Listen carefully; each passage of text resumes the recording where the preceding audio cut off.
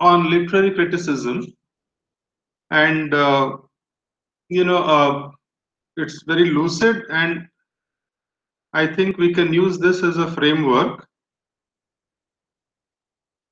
You know, uh, before I go to the text which is given to you, the printed material, I would like to read out and explain from this book. Okay, it's very lucid, very simple to understand. Uh, whereas literary criticisms co concern with morality began with Plato, its emphasis on the elements of which a work is composed began with Plato's famous pupil, Aristotle. So Aristotle taught us about the uh, told us about the components of uh, you know uh, the tragedy. Rejecting some of Plato's beliefs about the nature of reality, Aristotle opts for a detailed investigation of the material world. So he goes against Plato's teachings, he rejects Plato's teachings, and he launches, he starts his own investigation. Okay. Uh, now, uh, uh, see, Aristotle, you, you, will see the father of so many modern subjects is considered to be Aristotle. Okay. So uh, he was also, he, he, was a very knowledgeable man, Aristotle. He had knowledge of uh, the scientific methods. Applying his scientific methods of investigation to the study of literature, Aristotle answers Plato's accusations against poetry in a series of lectures known as the Poetics. So, uh, Poetics is Aristotle, Aristotle's works, work in which he, uh, you know, responds to Plato's criticism on poets. Unlike exoteric treatises meant for general publication, the Poetics is an esoteric work, one meant for private circulation to those who attended the Lyceum. Okay, uh, so it was a particular school where youth were trained, and this book was meant only for circulation within that. Although it lacks the unity and coherence of Aristotle's other works, it remains one of the most important critical influences on literary theory and criticism. So his Poetics, which was meant for internal circulation in the Lyceum, which is a place where young people were educated, that forms the basis for a lot of literary criticism and theory. Aristotle's Poetics has become the cornerstone of Western literary criticism. By applying his analytic abilities to a definition of tragedy, Aristotle began in the Poetics a discussion of the basic components of a literary work that continues to the present day. What are the basic components of a literary work? Okay, Unfortunately, many critics and scholars mistakenly assume that poetics is a how to and setting the standards for literature, particularly tragedy, for all times, for all time. Aristotle's purpose, however, was not to formulate a series of absolute rules for evaluating a tragedy, but to state the general principles of tragedy as he viewed them in his time while responding to many of Plato's doctrines and arguments. Even his title, The Poetics, reveals Aristotle's purpose because in Greek, the word poetics means things that are made or crafted. So he was trying to dissect, he was trying to dissect what he saw around him, uh, dissect tragedy, poetry. At the beginning of the Poetics, Aristotle notes that epic poetry, tragedy, comedy, dithyrambic poetry, and most forms of flute and lyre playing all happen to be, in general, imitations. Although all of these imitations differ in how and what they imitate, Aristotle agrees with Plato that all the arts are imitations. Okay.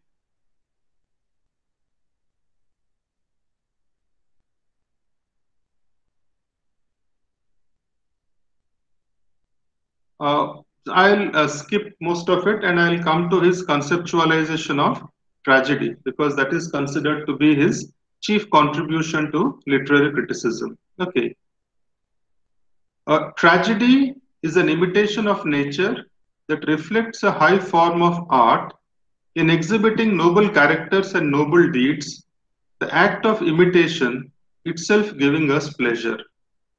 So, uh, you know, a tragedy, uh, it involves the lives uh, and actions of noble people, people of high birth. You cannot have a ordinary person being described in a tragedy or being the central character in a tragedy. Okay. And the purpose of tragedy was to give us pleasure. Art possesses form. That is, tragedy, unlike life, has a defined beginning, a middle, and an end, and each of the parts being related to every other part. A tragedy then is an organic whole with its various parts all being formally interrelated. So there's a beginning, a middle, and an end. A tragedy also has all three parts. So you basically, and all are interconnected. All are interconnected. So it gives you the sense of uh, being one unified whole. It gives you the sense of being one unified whole. Uh, so it must be remembered that uh, what are referred to as the three classical unities.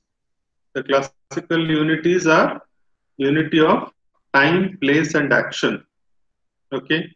Only the unity of action was mentioned specifically by Aristotle. Okay. And, uh, you know, uh, the other two unities of time and place, they were uh, later day, uh, you know, uh, inputs in the world of uh, tragedy.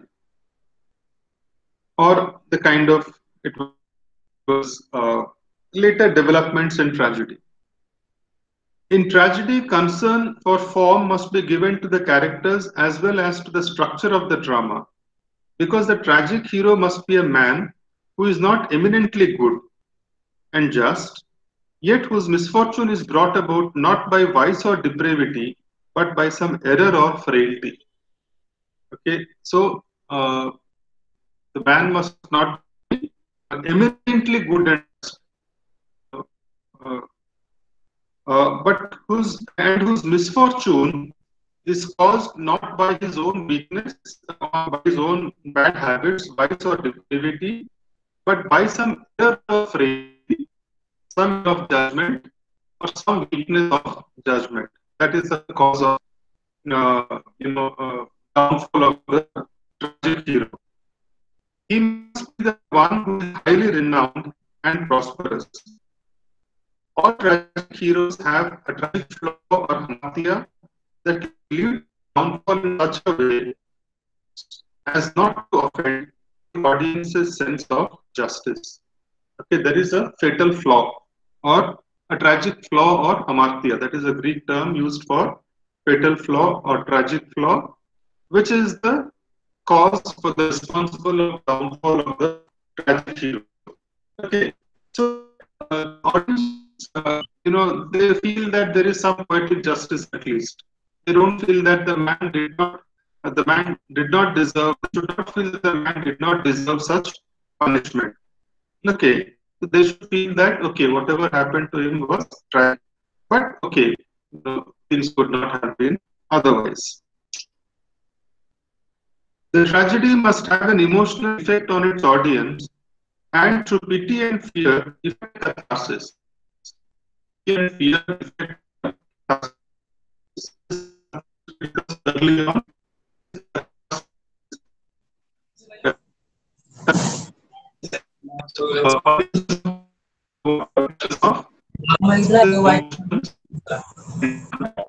and thereby you. know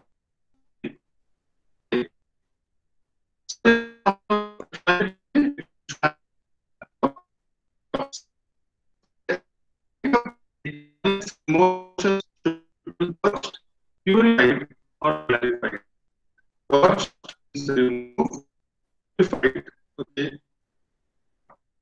Uh,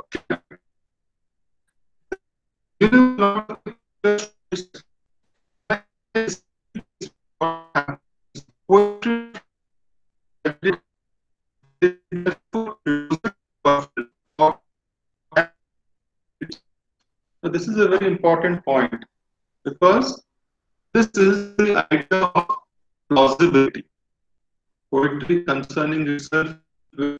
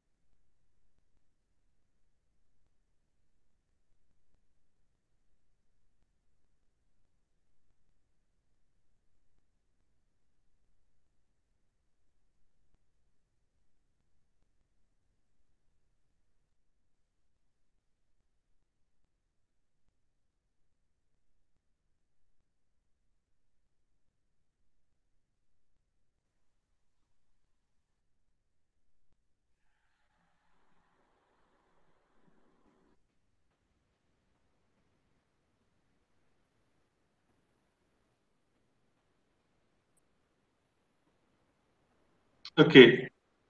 So, uh,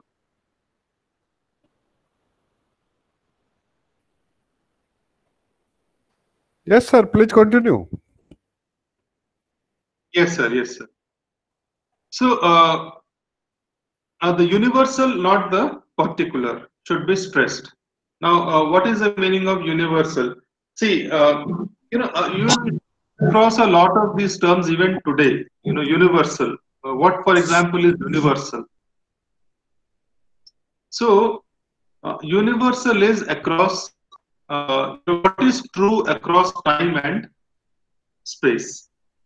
Okay, so uh, when someone very close to you, uh, close to us, you know, uh, close to a person falls ill or dies, we feel sad.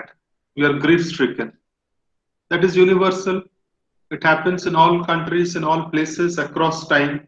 Okay, so the effect of uh, poetry should have a universal appeal.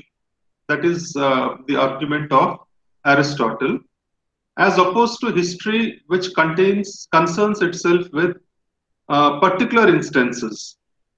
Okay, so uh, poetry should have a more universal appeal, and poetry should also concern itself with the plausible.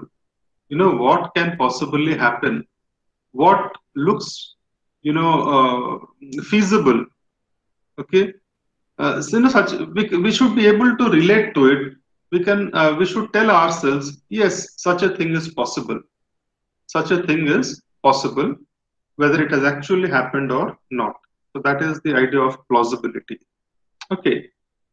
The poet must give close attention to diction or language uh, it is the thoughts expressed through language that are of utmost concern. Okay. Uh, Aristotle does not address the didactic value of Plato or literature. Okay. So he doesn't talk about the didactic function. What is the didactic function? The moralizing or the preaching function of poetry. He doesn't talk about that. Okay. Now, uh, let us look at uh, let us look at uh, the the material. Uh, you know uh, objectives uh, unit 3 aristotle's theory of imitation okay? What are the components of this? Aristotelian view of mimesis the media of mimesis rhythm language and harmony theater as a unifier of arts rendering of lexis through rhythm and tone ancient dance used in theater, unification of dance with words. Okay, so how theater is a complete art in itself because it incorporates so many elements in it. Okay, you have dance, you have spectacle, you have music, there's rhythm, there is harmony, there is language. Okay.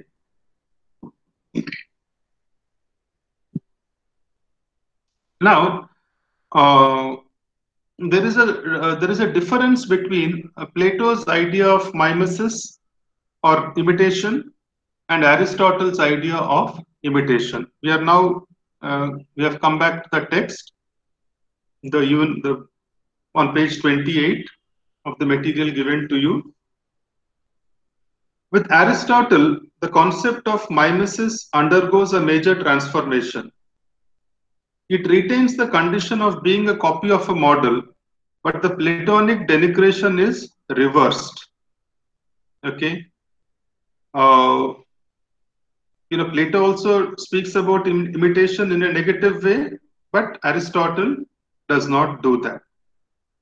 When an artist makes an object, he incorporates certain universal elements in it, but he does fall short of any absolute model of universality.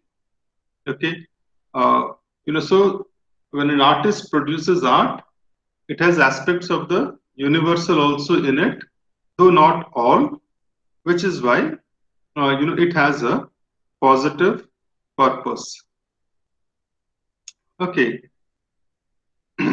so this is the you know view of imitation and how you know, drama incorporates uh, you know rhythm, tone, dance, and the different kinds of dances which were uh, you know used, uh, which were uh, you know performed in Aristotelian uh, Aristotle's times Okay, so uh, this is unit three, summing up. Aristotle succeeded in salvaging the great contribution of the ancient Greeks, namely the art of theatre, from the merciless damnation by Plato, through providing a constructive definition of mimesis. His definition became the ground on which all the magnificent edifices of various theories of representation were created from the Renaissance to the modern times. In them all, as was laid down by Aristotle, it was accepted that mimesis is based upon a study of life as we see it and that it is pleasant and educative. Aristotle imparted a metaphysical, moral, and aesthetic worth to mimesis uh, the introductory class on literary theory and criticism. So we discussed a few basic issues on uh, what is literature, what is criticism, and what is theory. We discussed that criticism is more of interpretation. Criticism comes under the overall term of liberal humanism, which is supposedly apolitical. And theory, on the other hand, is political. So uh, that was one of the issues that we had discussed. The second thing is we had also discussed about, we had also discussed uh, something about the classical tradition we had discussed something about the classical tradition in literary theory and criticism. So, because uh, we are studying English literature, and uh, you know, uh, originally at least, English was not the mother tongue of any of us in India. It was the mother tongue of uh, you know people in England.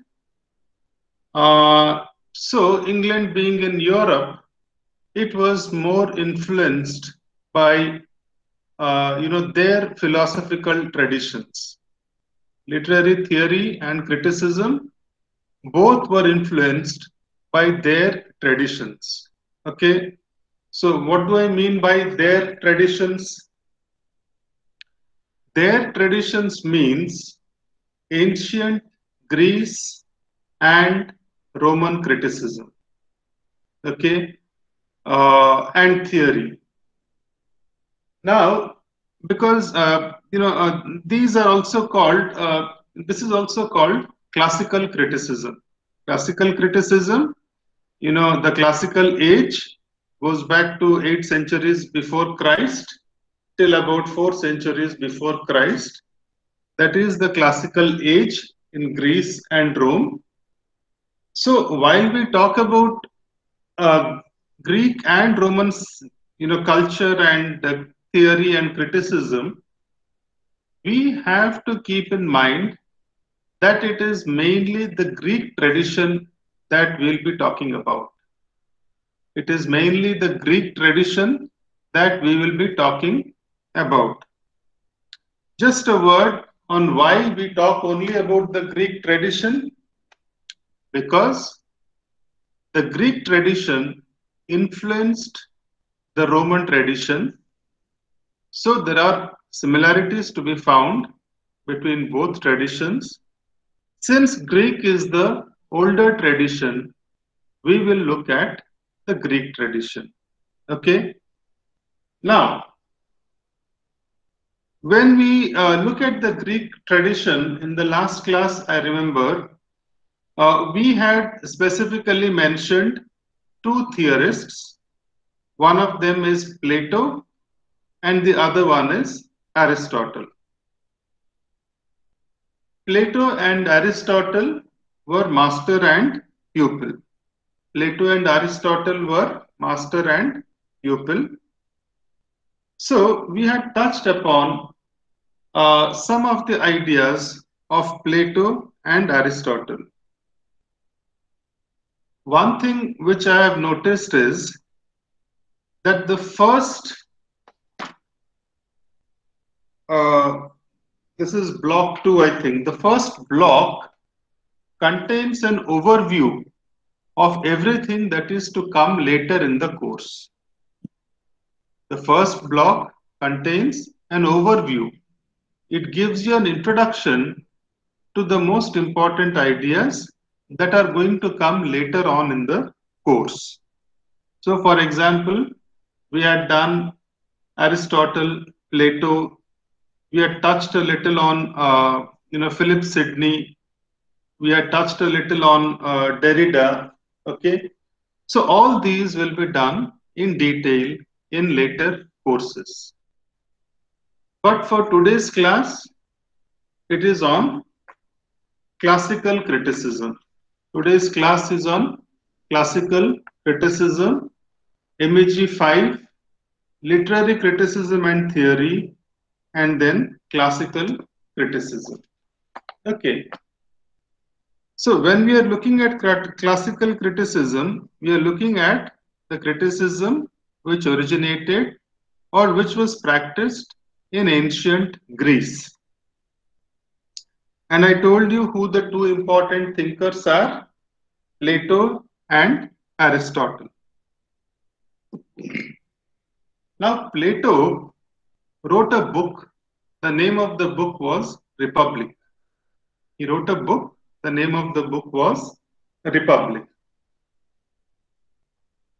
So, uh, in that, uh, it is divided into many books or parts and uh, book 10 uh, of the uh, Republic, book 10, it talks about, it speaks about uh, the place of the imitating arts in the Republic. Now, uh, let me tell you what is the Republic actually? Why, do, why is the book named Republic? Republic is a is a utopia. Republic is a utopia. Now, what is a utopia? A utopia is an imaginary land where everything is supposed to be perfect, supposed to be ideal. Obviously, no such place exists in reality, but then it serves as a kind of template. Republic, it serves as a kind of template, some kind of a blueprint, some kind of a model as to how the, the ideal state should be. The ideal state, you know, the ideal, uh, the unit of government is the state here. Athens, they were all city states. Sparta. So the point is, uh, what is the or how should the ideal state be like? What should be the education of the citizens of that state? Okay. How can they be educated to be virtuous? How can they be educated to be virtuous? Now, there, uh, he says that poets should be banished from the Republic. In Book 10 of the Republic, uh, Plato did not have a very good opinion of uh, poets. So uh, I told you, poets are people who not only write poetry, but also by extension, all literary creative artists. So in other words, in his time, those who wrote tragedy, those who wrote comedy, those who wrote poetry, all of them came under the term poets. So he wanted that poets should be banished from the republic.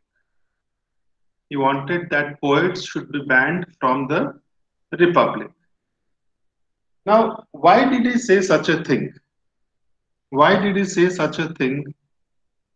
He believed in forms. Plato believed in this idea of forms, F O R M S, forms. So, he believed in the ideal form somewhere in the realm of abstraction. Somewhere in the realm of abstraction. Okay, so the ideal is not found in the real world. Okay, now uh, try to understand this a little. The world of forms, the ideal form, is an abstraction. Okay, what we see in the real world is an imitation of the ideal form. When a poet talks about what he sees in the real world, that is an imitation of an imitation. Let me try to give you an example. Let us say a table. Now, according to Plato, there is an there is the form of a table in the world of abstractions, the ideal world. And according to Plato, that was the real world. Okay, which means you know he always had these very high standards to live up to and he wanted others also to uh, live by these very high standards. So there's an ideal form, the form of a table. The table that we see, let us say, in our colleges or in our offices, that is an imitation of the ideal table. Okay. And when a poet writes about the table, the poem becomes an imitation of an imitation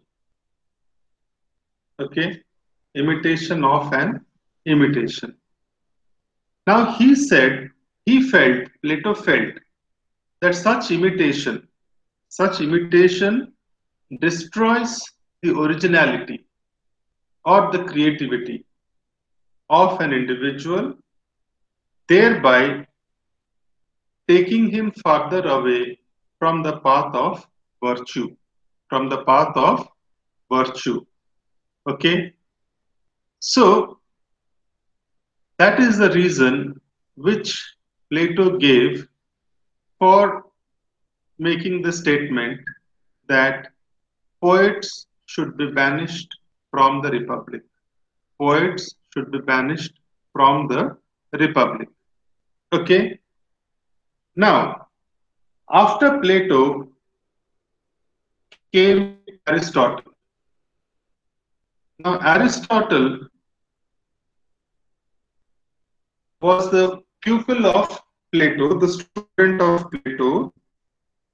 Aristotle was not so hard hearted towards uh, poets. Okay. On the other hand, Aristotle said, you know, he gave a very high position to poets. Okay. Uh, you know, he also said that they serve a useful purpose. And, uh, you know, how do they serve a useful purpose? We'll come to that slightly later. But, and also, uh, Aristotle also, uh, you know, uh, theorized on tragedy. he also theorized on tragedy.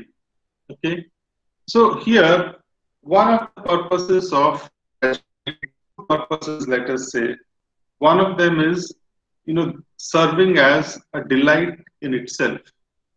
When you see a tragedy, because ancient Greece, you know, they are talking about uh, you know uh, performance. We are not talking about reading. So one of the uh, you know uh, aims of tragedy was to give pleasure, and the other more important aim was to serve the purpose of catharsis. Was to serve the purpose of catharsis. I'm sure all of you have come across this term. Catharsis is, you know, purgation. Catharsis means purgation. Okay, purgation of what here? Purgation of excess emotion. Purgation of an excess constituent element of the body. At all you look at of all of us are a mixture of four humors, the human body, and an imbalance of any one of the humors results in uh, you know a disease or sickness and it is opposite to good health. So here also one of the purposes of tragedy was to serve the purpose of catharsis catharsis the purgation of excess emotions in an individual.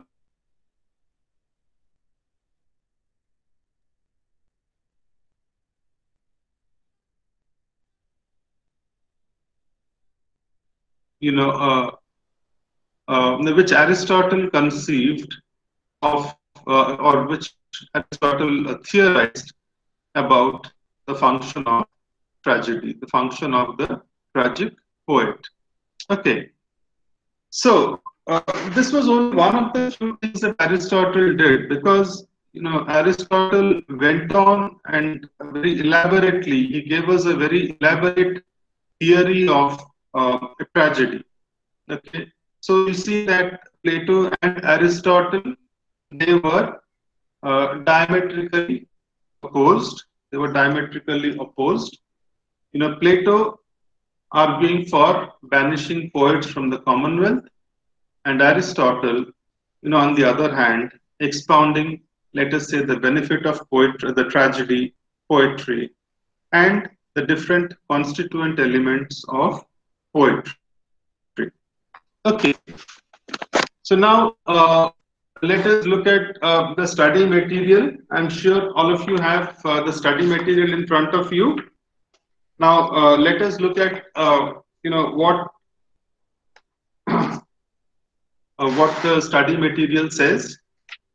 So I'll read out from the introduction of Unit One. What are the features of classical criticism?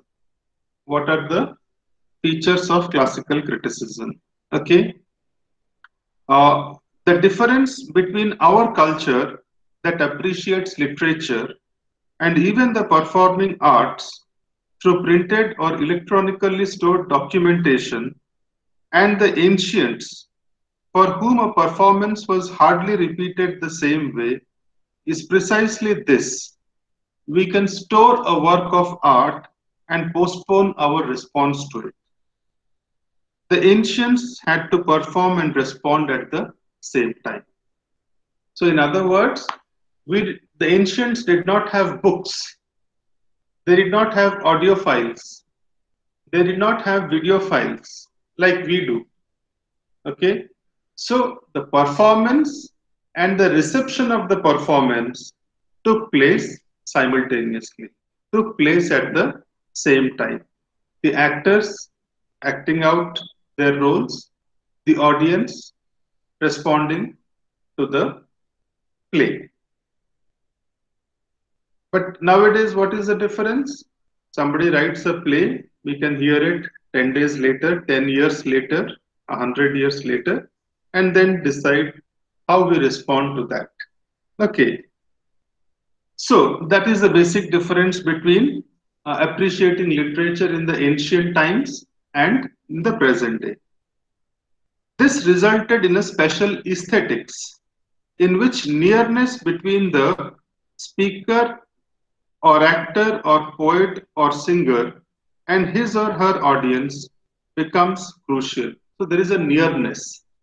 There is a nearness. How is there a nearness? You know, you have you have a stage on which you know the play is being performed, and you have the audience sitting in front of the stage. Okay.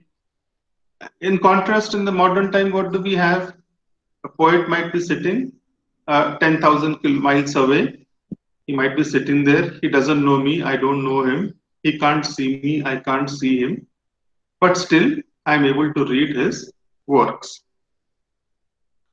Because of this immediacy of communication in all ancient arts, whether poetry, music, or even philosophical dialogue, a strong emotional response from the audience also became inevitable. A strong emotional response on the part of the audience also became inevitable. You know, something is happening right in front of you. Your response is also immediate. And the response is also at an emotional level. Excuse me. The, the response is also at an emotional level. Emotions therefore acquired a primary importance in all the ancient literary concepts, such as those of imitation or mimesis, inspiration, ethics, or pleasure. Pleasure also known as hedon. So, emotional response, that is the main uh, expression which you have to keep in mind. Why emotional response is important? Because Plato and Aristotle had diametrically opposed views. Plato felt that you know, stirring up emotions is not good for the ideal citizen in the republic. Aristotle thought that tragedy served a useful purpose by uh, purging the audience of excess emotions the balance and stability were regained. Okay. When one thinks about the Greek art of imaginative creation, there are a couple of concepts that are very different from our present day ideas. So, what are we doing here? We are looking at features of classical criticism, classical literature, and how classical literature is different from modern day literature for the Greeks, for the Greeks, the individual poet, playwright, dramatists, or musician was not supposed to make his or her mark by novelty or individual style that departed from tradition in a big way. Okay, so what is the point here? That you are not, as a creative artist, you are not supposed to to uh, deviate very widely from tradition. Okay. Also, the ideas of the artists were not welcome if they were shocking or very individualistic in thought.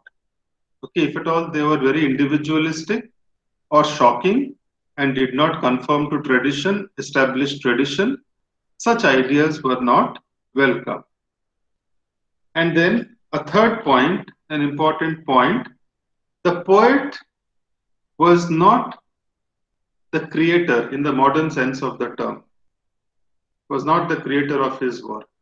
Okay. The uh, creative, the poet was only a medium. The poet was only a medium through which the muses who served as inspiration, the muses acted. Okay, if you look at Indian tradition also, what do you find? That Kalidas was divinely inspired. Okay, he in a sense became a medium for the transmission of uh, great writing, you know, uh, for the goddess Saraswati, okay, or for uh, you know some god or goddess. Not only the inspiration to create came from the muses, the creation of the artist was also a copy of the world that had been created by a force much greater than him or her. Okay, so here we come to this concept of mimesis or imitation. The poet is talking about the world, but the world itself was created by a, a superior force, a much higher force. Theories of art for this reason believe the artist to be an imitator. So this theory believes that artist is an imitator. Why is the artist an, or how is the artist an imitator? Because he imitates what has already been created by a higher force. Another significant concern of the Greeks was the ethical value of art. So ethical value. Now, what is ethics? Ethics is, you know, uh, the field of study which concerns itself with ideas of what is right or what is not. Not only must the poet, an imitative painter of this world created by the gods, acknowledge his or her lower place, he or she must ensure that whatever they produce is also universal. So, one is what are the two things which the poet has to keep in mind? The first thing is that the poet occupies a lower position, okay, because he is imitating a world which is created by the gods. Second thing is there was a responsibility on the poet to create something which was useful, good and useful. So that was very important. You know, what you write has to be good and useful to the audience. The ancients left room for innovation, but not for experimentation of doubtful worth. There was no room for a philosophy that advocated art for art's sake. Sometimes this concern for social worth of art led to a severe censure of the artist, as in the case of Plato, who thought that no art can be as can be good, as all of it consists of unreality and untruth. Okay, so uh, you see that Plato did not like poets or poetry. So, what is the ground on which he did not like poets? That poets wrote untruths because they spoke of imitations of imitations. Or, as in the case of Aristotle, it led to a patronization of theatrists. Because for Aristotle, the artist brought us knowledge and a deeper understanding of the world. So, diametrically opposite views of Plato and Aristotle. Aristotle. Last but not the least, the capacity of art to please by emotional arousal was also a demand on the poetic imagination. Okay, so to, to arouse, to impact someone emotionally, that also calls for poetic imagination. The poet has to think about the various devices or strategies or ways in which he or she can arouse the audience. The emphasis in ancient times was not so much on making art a vehicle for ideology or social reform, but more on its capacity to entertain. So nowadays, you know, art also is used as a vehicle for ideology. You have certain political ideas and you use art as a vehicle for conveying those ideas. But in ancient days, what was the purpose of art? The purpose of art was to entertain. Poetry and drama must please in a healthy way and provide an emotional outlet from the daily state of tension. Emotional outlet from the daily state of tension. This aim of art as emotional cure was developed by Aristotle through his concept of catharsis. Okay, so this is Aristotle's conceptualization of, uh, you know, uh, the function of art. Okay. Then uh, we'll uh, end the first unit. We'll end the first unit with the summing. Before, you know, uh, going into detail in Plato's works and Aristotle's works.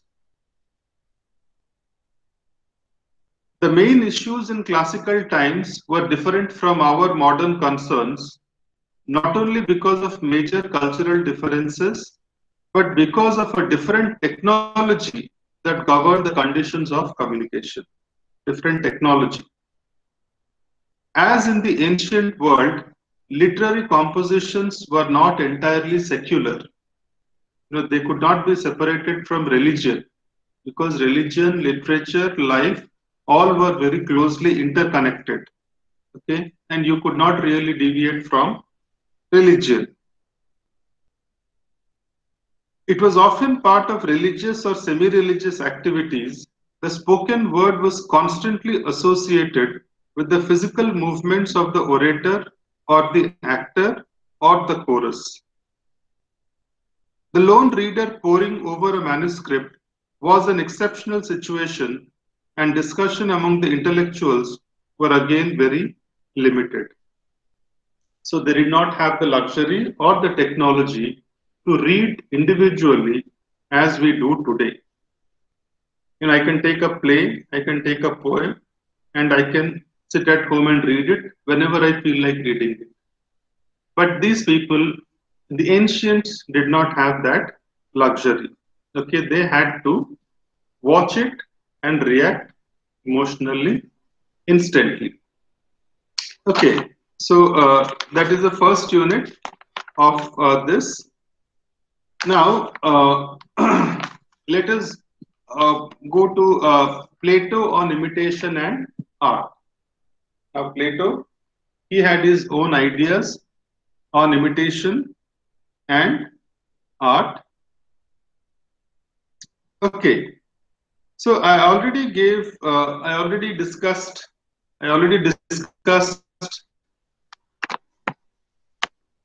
you know, uh, what Plato's ideas were. What did Plato say? Uh, you know, uh, that a poet should be banned from the republic. So I'll just read out portions of, I'll just read out portions from unit two, and then, uh, you know, uh, uh, we can see how he gives his reasons for not, you know, you know, for not liking poets. Uh, see, the easiest thing is to imagine Plato as an enemy of art because he viewed art as inferior copies of the ultimate reality. So, how did he view art? as inferior copies of ultimate reality. So you have an ultimate reality, which is the world of forms. Then you have a world of the real world, uh, the world that we see around us. And then you have a poet imitating that world. And then, so it becomes an inferior copy of the ultimate reality. Plato's point was that representation through art was inferior to the ultimate truth. The representation through art was inferior to the ultimate truth. Okay, so uh, you know uh, Plato's idea was that you know there is going to be an ideal republic, and uh, the citizens are going to be uh, you know very virtuous. They are going to be very uh, you know, people of exceptional merit.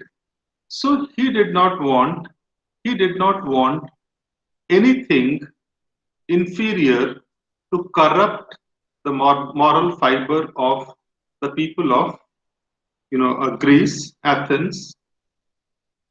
So that was, uh, you know, Plato's contention. Okay, so he wanted that, uh, you know, uh, uh, poetry should not find a place in uh, the ideal republic. In his republic, he has given us a picture of what a perfectly governed state should be and how that state can be created by educated young men and women. Okay. The rulers and the helpers of utopia of this of the Platonic utopia or republic are not mere administrators or military strategists They are philosophers who have a deep understanding of the nature of things. Okay, so uh, philosopher kings. The concept is that of Plato wanted that the ideal ruler is the philosopher king, king who also has uh, a deep understanding of philosophy. Most poetry, and then he also gives reasons. Plato gives reasons why you know poetry should be banished. He gives reasons why poetry should be banished. You know what were the poems or the uh, the poems that were in circulation at that time? Say, for example, Homer. You know, uh, Homer's uh, works were available at that time. Homer wrote two epics, Odyssey uh, and the Iliad. Most poetry of the contemporary Greek curriculum, Homer in particular, was unsuitable as it showed gods and heroes with moral infirmities and sometimes even savagery. So, what did it show? It showed gods and goddesses. The epics, what do you find in epics? You know, even think of our own Indian epics what do you find here? Gods and goddesses in all their infirmities. So what are infirmities? In all their weaknesses. So that is not something which one would like to emulate. That is not something which one would like to emulate. You don't want people watching this and then trying to imitate these gods and goddesses. So, in other words, the gods and goddesses served as very poor role models. Okay, which is why Plato had this antagonism, or uh, he found he thought poetry to be unsuitable. Okay. Also, most of this poetry was sung to the lyre in those times. Lyre is a musical instrument. Plato pointed out that only those melodic scales should be used which inculcate heroism and courage which inculcate heroism and courage. So certain musics, uh, certain kinds of music, they uh, you know inculcate or bring out certain emotional responses in us.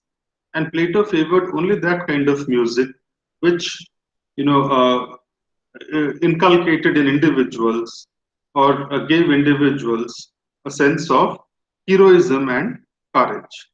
Okay, and enacting plays was harmful because in acting a person gave up his own demeanor and adopted the behavior of another person, often not very praiseworthy. Okay, uh, so this was something you know you are uh, when you are playing out a role in acting, you know, uh, uh you know you might be uh, behaving in a certain way that is not very praiseworthy, even though you are fulfilling the needs of the portrayal of that character so he felt that also corrupts the actor. So all these are reasons. All these are uh, the reasons why Plato was against, you know, poets in the ideal republic. Okay, and then of course, you know, you had the main, uh, you had the main uh, objection, which is that it does not teach anything of merit poetry because it is an imitation of an imitation. It is an imitation of an imitation. So it is twice removed from reality. It is twice removed from reality. So that is why uh, he did not like poets. Okay.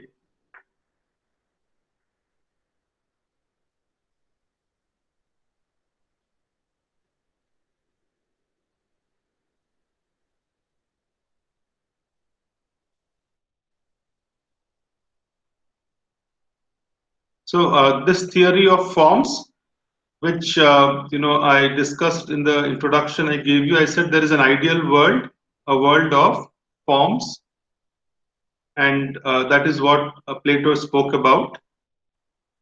Thus, imitation is not only a production, it is a following of something which the imitator must set before herself or himself. For every kind of activity, there must be an ideal to be followed, and every ideal or form must have its superform. Okay.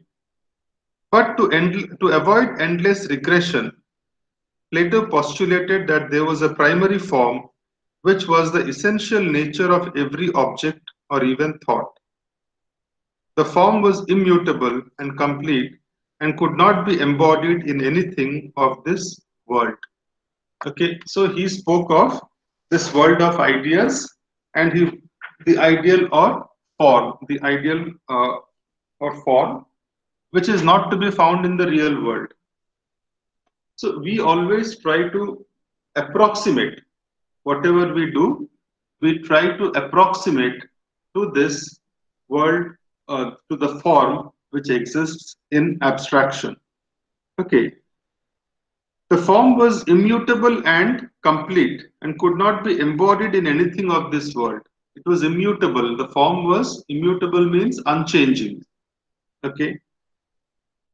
Worldly objects are idols or imitative images of the ideal forms, and artists' pictures or poetic descriptions are in turn images of the objects of the world. So, you have the world of forms, you have the real world around you, which is an imitation of the world of forms, and then a poet is talking about the real world. So the poet is twice removed from reality. Okay. So poetry can never be a faithful representation of reality. Poetry can never be a faithful representation of reality. So this is, uh, you know, this is what uh, Plato envisaged. Okay, so uh, I gave the example of a table. Now Plato gives the example of a knife. Okay. Uh, I'll read out two, two sentences from that from that portion. The worldly knife falls short of the ideal knife. Knife, K-N-I-F-E knife. There is an ideal wife, knife, and there is a worldly knife, the one that we see in the kitchen or in our homes. So this is an imitation of that ideal knife. All art, according to Plato, remains a turning away from the truth. Now, the real life that we see around us is not exactly the ideal life, which is the reality. Okay, so the reason he says poet should be banished is they poet, poetry does not represent reality faithfully or truthfully. Okay. So uh, uh, why this is important is because even today we are influenced by you know uh, that is the beginning that is the beginning of the critical and the theoretical tradition uh, in uh, english literary criticism you know they look to ancient greece for inspiration and most of the ideas even down to the victorians uh, uh the elizabethan age they were either a reaction to or a continuation of these ideas propagated by Plato and Aristotle. Okay, so in book 10 of the Republic, you know, this is you know, very often you will come across uh, this particular idea. Uh, this is a, a, ground which Plato gives for banishing the poets. So the artist has, this is page 22 of the unit of the book, of the block. So the artist has neither knowledge nor correct opinion about the goodness or badness of the things he represents. Apparently not. So the poet to his artist will be pretty ignorant about the subjects of his poetry. Completely ignorant. It's in the form of a dialogue. But he will go on writing poetry in spite of his ignorance of all he writes about and will represent anything that pleases ignorant multitude. What else can he do? Well, I concluded. We seem to be pretty well agreed that the artist knows little or nothing about the subjects he represents, and that his art is something that has no serious value, and this applies to all tragic poetry, epic or dramatic. Yes, entirely agreed. So in this dialogue, you can see that uh, you know poetry is of no use. That is the uh, conclusion. Okay, so uh, this is the main idea of uh, you know Plato. Uh,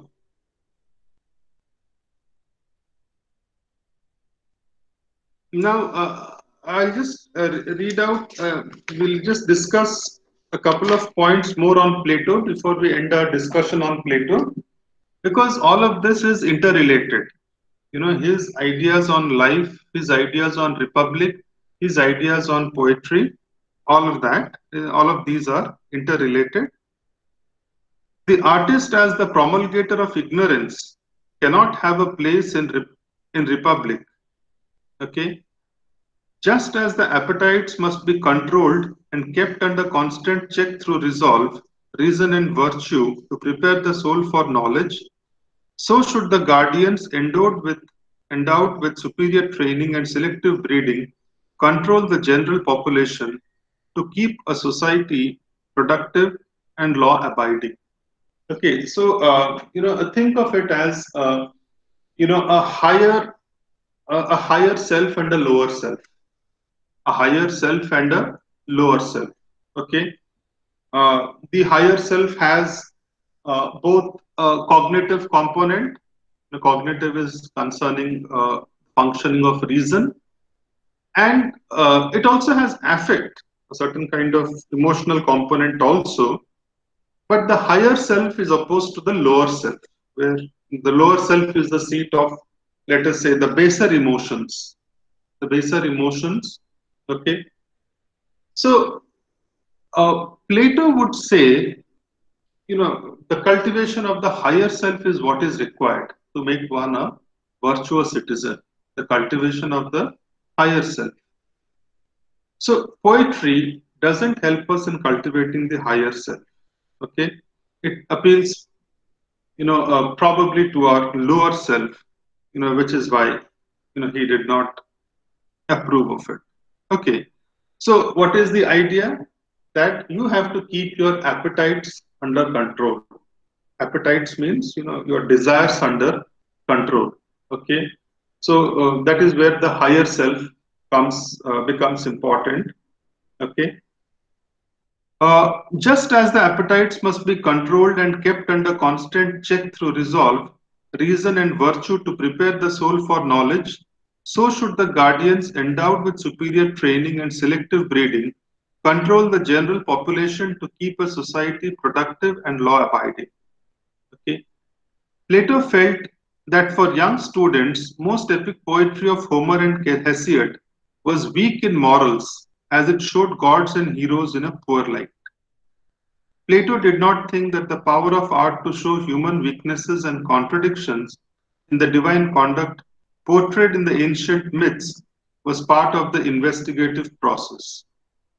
Even to act a role was disastrous for a future guardian of the Republic, as it prevented the development of a single unflawed ethos in him. Okay, so uh, you know the reason he gives for uh, now, basically, it boils down to uh, all the reasons that he gives for not studying uh, poetry and banishing the poets. Okay. Uh, as we uh, let us sum up, this is page 24 on Plato.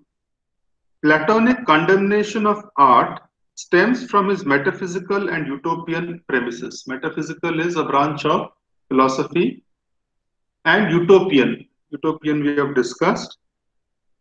Plato was well aware of the military weaknesses of the Athenian state in comparison with the disciplined armies of the Spartans.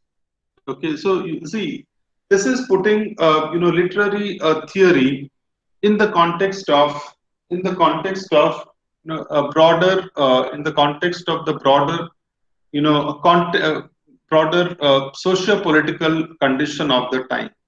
Okay, and, and what is that? It is basically that uh, the Spartans, you know, the Spartan, uh, they were very austere. They were very austere and very disciplined, and they had a stronger army. Okay. So he wanted, and Aristotle, Plato belonged to Plat, uh, Athens. Athens and Sparta were separate city states. He wanted Athens to be, you know, uh, to be able to stand up to the Spartans, the Spartan armies. So he wanted to cultivate, educate, he wanted to produce youth of the highest order, the youth of the highest order, so that they could be a match for the Spartans in all aspects. So that is a broader context. Okay, and that is why he wanted poetry to be abolished. It may also be noted that by the time of Plato, a decline in the quality of theatrical productions had already set in. Okay, another thing is that Plato was, you know, wrote his observations, you know, based on the prevailing situation of art in those times. So by then, art was already on the decline. You know, the production of artistic, uh, the, the output of artistic production was not of a very high order. Okay. Uh, so uh, this is uh, unit 2.